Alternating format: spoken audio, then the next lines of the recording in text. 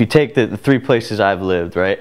There's there's Indy, where people know you and they kind of, it's like a different. you- You're almost like a celebrity there. Then you go to Miami, people don't know who you are.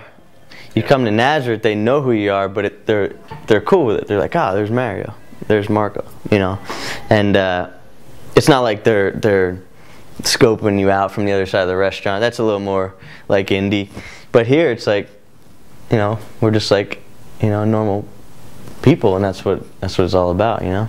I, I paid exactly what the house was appraised for, so there was no deal on that, um, and it, it made sense for both of us.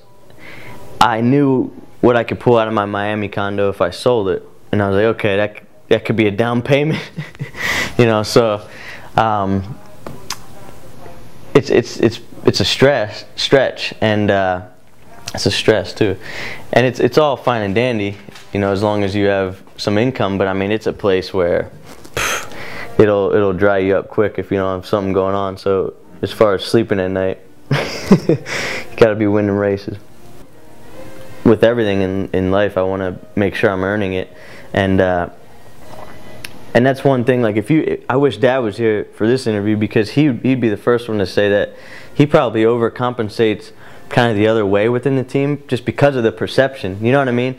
And uh, I mean it's it it does that whole thing works against me. You know what I mean? Because he's he is hard on me as he should be, and he treats me exactly. If I'm out of line, he'll tell me before he tells you know Hunter-Reay if he does something wrong. You know what I mean? So, but I, I like that because then you shape up, you fix it. Okay, we got to do something better with this sponsor, you know, and uh, and but that's that's the way I'd have it, you know, and uh, and the only way it works, the father and son partnership or any family member is if you're able to separate the two.